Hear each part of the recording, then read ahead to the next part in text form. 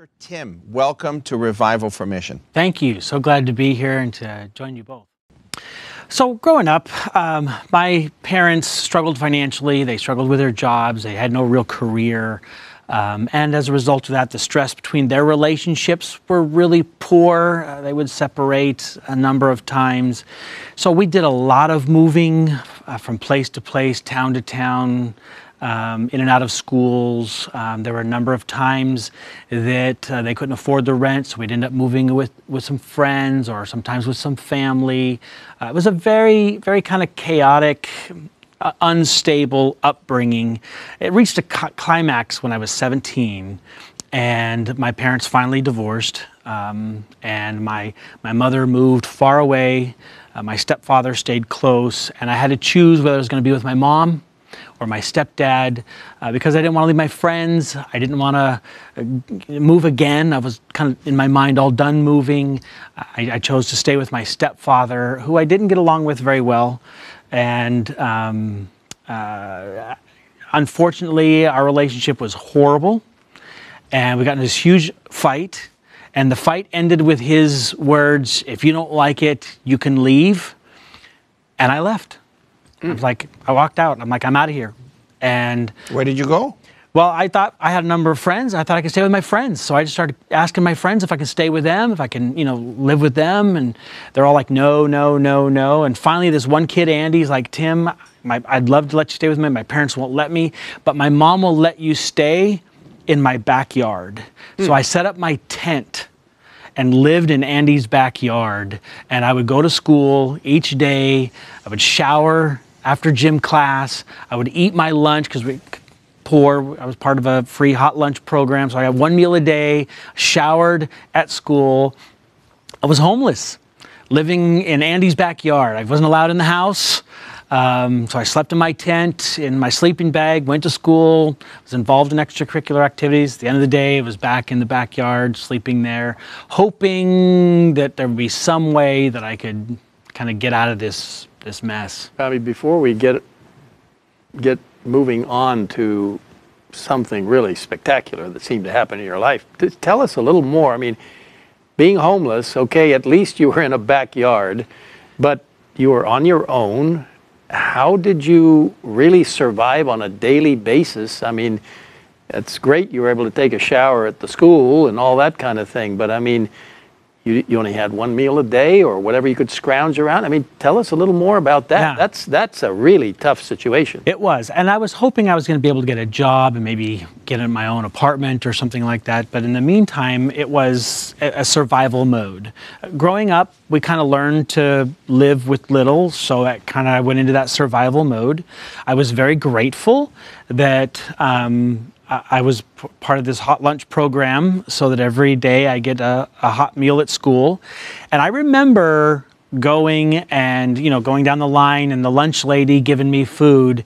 And I, and she gave me extra. I never asked for extra, uh, but she gave me extra. I don't know if she knew my situation, yeah. if she could tell that I was getting thinner or, or what it was. Or but the she Lord would, impressed her. Yeah, something. I, I, I didn't know what it was, but I remember she would give me extra. Of course, I would thank her so much for that. So I don't know if she you know, just a smart lady. She probably knew um, who needed a little more. Um, but that was my one meal a day. You know, if friends had a little extra something, they might give me fine. Um, and and you know, I would I would um, uh, shower at school. was in the gym class, so I would clean myself every day.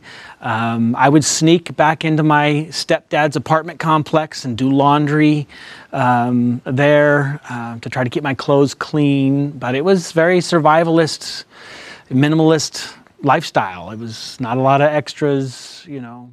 So I'd gone to all my friends in school and asked them, can I stay with you? Can I at least stay for a couple of weeks until spring break, you know, as, as the, the, the, time was going down, you know, a month, three weeks, you know, a couple of weeks, etc., until spring break, because I was going to go stay with my mom. Maybe she and I can reconcile and work things out. So I can stay with her.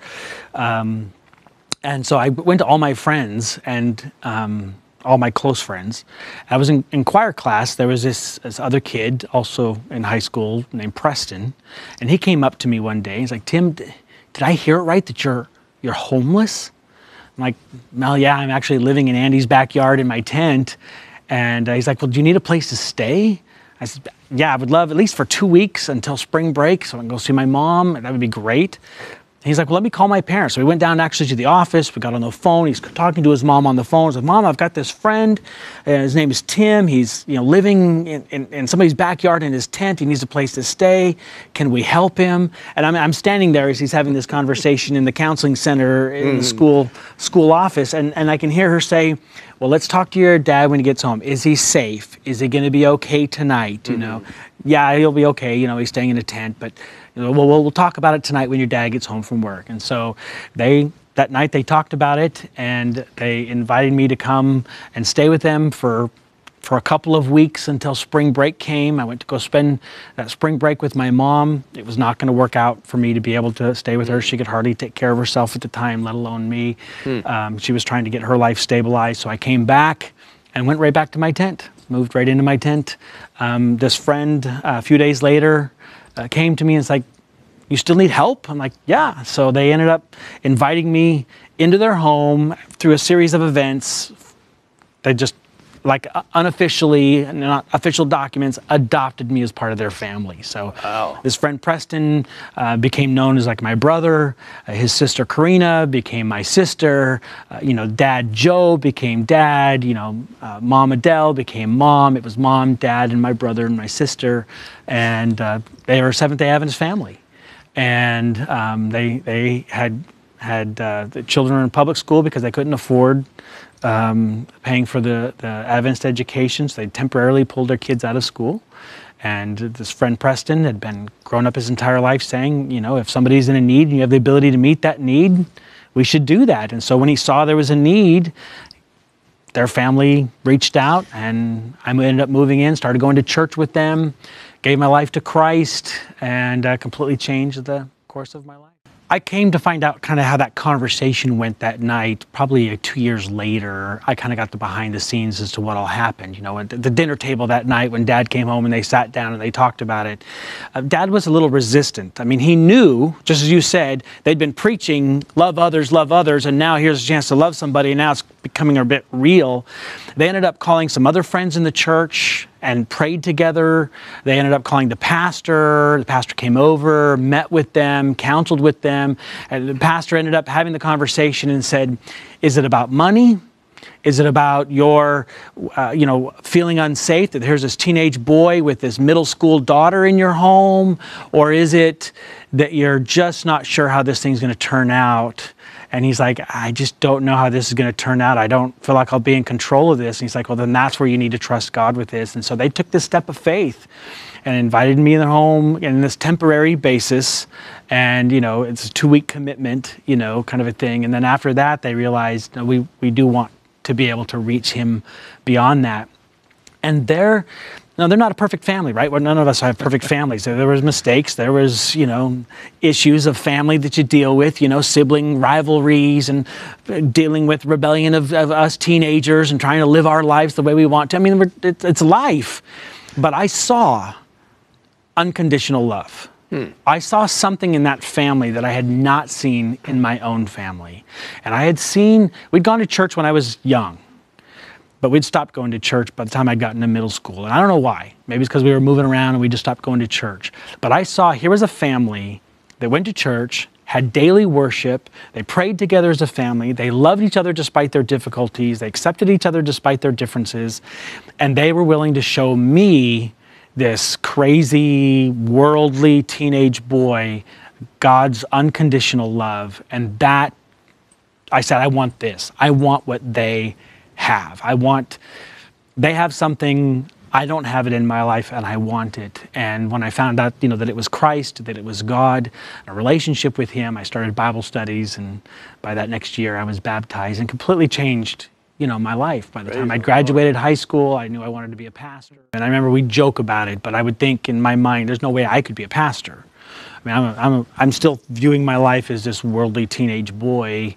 You know, pastors are perfect you know, people who have their lives together and don't have problems. You know, I have that picture in my mind. Um, and, and there were others in the church, other leaders, youth leaders, elders in the church, the pastor, who would come and affirm in me and say, Tim, have you thought about, you know, becoming a pastor?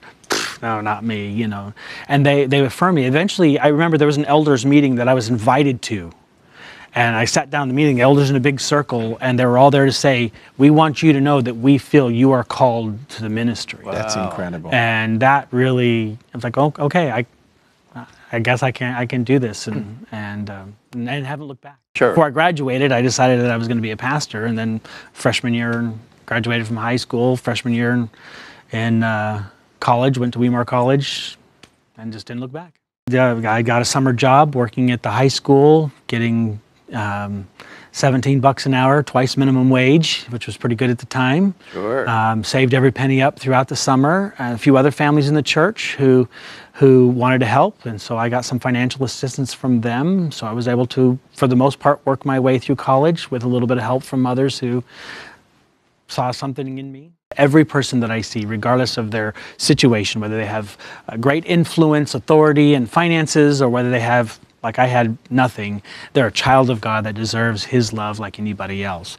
Uh, anybody who has been a member of my churches, you know, at any time know that I think we should be involved in our communities, that we should love the least of these. Um, it was a church that loved this homeless teenage boy that changed my life. And so I've always said we as a church need to be involved in our community, whether we are helping fight homelessness, whether we are, uh, you know, doing what we can to support those people who are engaged in combating human trafficking, uh, whether, you know, our, our church is actively involved in distributing food throughout COVID to people to help them throughout their difficulties. We're helping provide counseling for people who are struggling with finding their new life path, whatever we can do, if, if there is a need, we have the ability to meet that need, then we believe we're called of God to meet that need, to love people, even if it's challenging, even if it, it requires a sacrifice. Um, it, it just it drives my ministry of showing God's love in a practical way.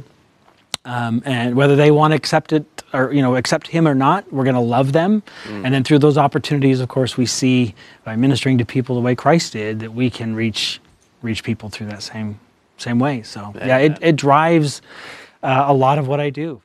Joe and adele i called them mom and dad. I still call them mom and dad uh, we do keep in, in regular touch. In fact, just before COVID hit, actually, when COVID hit, we were actually on a spring break vacation as a family in Florida. We made sure we got together with uh, mom and dad and Preston and my wife and my son. The six of us got together there at mom and dad's home to kind of hang out and, and connect. We keep in touch via texting and phone calls and, and stuff. Whenever we go down to Florida, I always try to call them up, say, can we at least go to dinner or lunch? Can I swing by? You know, if I'm there for a, a purpose that I don't have a lot of free time, I try to make an effort to, to stay in touch. So yeah, yeah, they're very much still staying in touch. The the daughter not we weren't as close to begin with, so Karina, we don't stay as close in contact. She lives in Washington State. I don't get to go back and visit there very much, but uh, we need to pray that they can have the eyes of, of Jesus, because there is a lot of need in our communities, in their neighborhood, and even amongst their own neighbors. So just begin praying that they will have the eyes of Jesus to see things as Jesus sees them. And when He starts to reveal things, He will start to reveal what's going on in their communities, the needs that are in their communities, the needs of, people within the church, needs of, of their own neighbors as they get to know their neighbors. They'll start to see um, that, that there is a need, that there are, and it doesn't have to be a homeless kid who has a need. It could be an elderly neighbor who just needs help with the raking of his leaves or the cleaning of his gutters or, or something like that. It, it could be all kinds of things that are uh, around that we have the ability to, to show God's love in a practical way too. Um, they can obviously start exploring the greater needs in the community. I mean, homelessness is real, um, uh, human trafficking is real. Uh, there are kids in your local elementary and high schools who don't get enough food to eat, um, that are low income.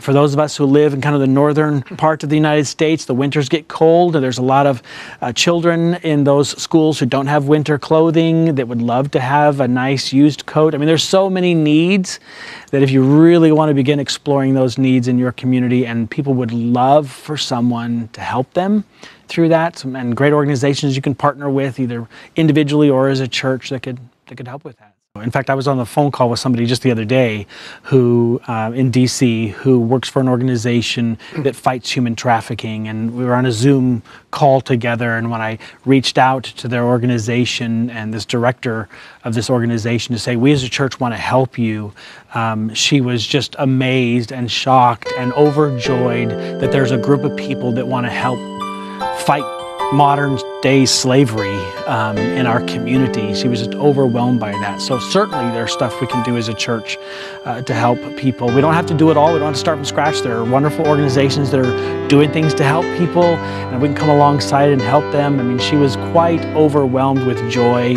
to know that you actually do care about these people. Yes, we do care about these people, and we're willing to help.